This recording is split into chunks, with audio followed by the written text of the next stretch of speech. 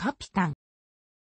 カピタン、カピタン、こう必ずに、カヒタンとは、江戸時代、東インド会社が日本に置いた商館の最高責任者、商館長のこと。元はポルトガル語で、仲間の長という意味があり、日本は初めにポルトガルとの貿易、南蛮貿易を開始したため、西洋の召喚長をポルトガル語のコピートをカピタンで呼ぶようになった。その後ポルトガルに代わり、オランダが貿易の主役になったが、この呼び名は変わらなかった。本来オランダでは、商館長のことを opperhoofd、 opperhoofd と呼ぶが、日本では使われなかった。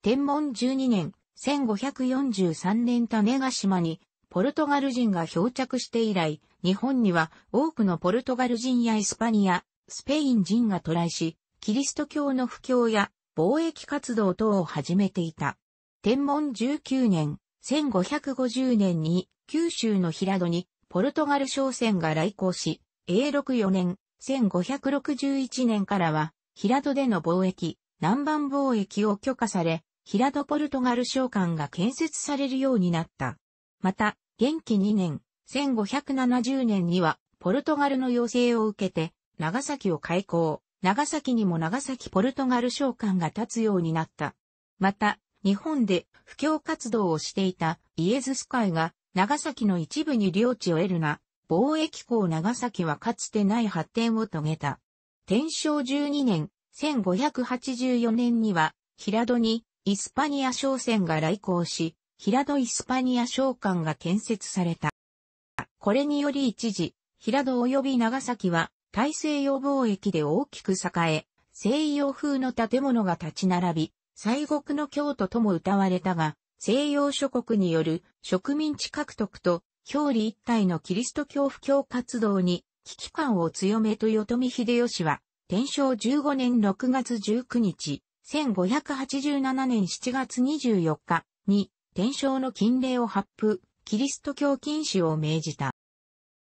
そのような中、慶長5年3月16日、1600年4月29日、オランダのロッテルダム貿易会社に属する商船リーフで号、同船の所属をオランダ東インド会社とする記述が見られるが、同社の設立は1602年とリーフで号の日本漂着より後のことであり、誤りであるがナンパし、文語国に漂着した。生存者の中からウィリアム・アダムス、三浦安人とヤン・ヨーステンが江戸に遅れ徳川、家康と会見した。半年後の関ヶ原の戦いで、家康が天下を取ると二人は、家康の外交顧問となり、それぞれ日英、日蘭貿易のために活動を開始した。慶長14年、1609年、平戸に平戸オランダ商館を建設する許可を得たオランダ東インド会社はヤックススペックスを初代オランダカピタン、召喚長として派遣した。しかし家康も日々拡大していくキリスト教を懸念し、慶長17年、1612年、豊臣政権以来の新たなキリシタン禁教令を発布、貿易のみの外交関係を推進する。こうしたこともあり、西洋諸国間で対日貿易の主導権争いが加熱し、慶長18年、1613年5月には、イギリスが平戸にイギリス商館を建設し、初代イギリス商館長にリチャード・コックスを置いた。しかしイギリスは、1623年に発生したアンボイナ事件を契機に、対インド貿易に注力する方針に転換、平戸のイギリス商館を閉鎖し、対日貿易から離脱した。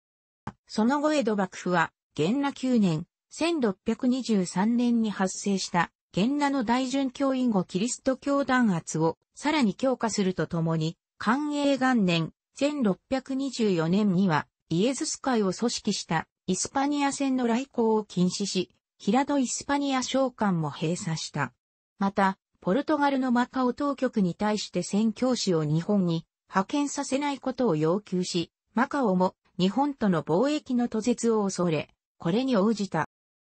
それでも宣教師は日本人への布教を諦めず、日本とポルトガル、スペインの主権が及ばない東南アジアの日本町に渡航し、そこに居住、渡航する日本人に対して布教を行い、中には商人や船員を装い、朱印船を利用して日本に密航を企てる者もいた。この状況を重く見た幕府は、キリスト教の近況を徹底させるために、朱印船貿易の廃止を決意した。その代わり、朱印船の役割を外国人に代行させる観点から、長崎奉行の定員を旗本二人とし、長崎奉行への職務規定を通じて、中国や東南アジアとの中継貿易の拠点としての長崎の整備を進めていった。寛永10年、1633年の第一次鎖国令では、法書船以外での渡航や5年以上東南アジアに永住している日本人の帰国が禁止された。寛永12年、1635年の第三次鎖国令では、日本人の東南アジア方面との往来が全面的に禁止され、寛永13年、1636年の第四次鎖国令では、ポルトガル人の祭司や演者をバタビアに追放した。さらに、長崎に人工島である出島を建設して、出島に長崎ポルトガル商館を移築し、出島内にポルトガル人を収容して管理した。寛永14年、1637年、追い詰められたキリシタンらが島原の乱を起こすと、翌年乱を鎮圧した幕府は、ポルトガルとの貿易の打ち切りを望むようになった。寛永16年、1639年、将軍の徳川家光と老中前院、オランダ省官庁であるフランソワカロンとの会談が行われ、幕府側はカロンから台湾経由でキートなどの中国製品などを確保できること、台湾に渡航している中国人が明朝からの渡航許可を与えられた商人であり、かつ密航者ではないこと、オランダがスペインとポルトガルの妨害を跳ね返す軍事力を備えていることなどを確認し、オランダがポルトガルと朱印船の代行ができることを信じ、ポルトガルとの貿易の打ち切りを決定した。これを受けて幕府は長崎奉行のみならず、九州地方の大名を中心とした全国の大名に、ポルトガル船の来航禁止と、ポルトガル船に対する警戒と打ち払いを趣旨とした命令が発布され、ポルトガル人はこれを受けて、出島から追放された。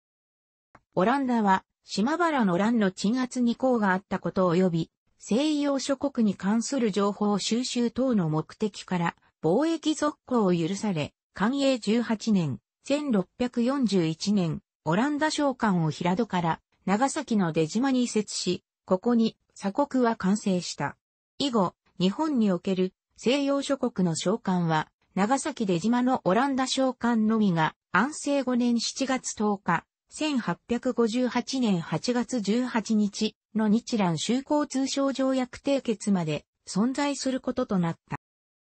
楽しくご覧になりましたら、購読と良いです。クリックしてください。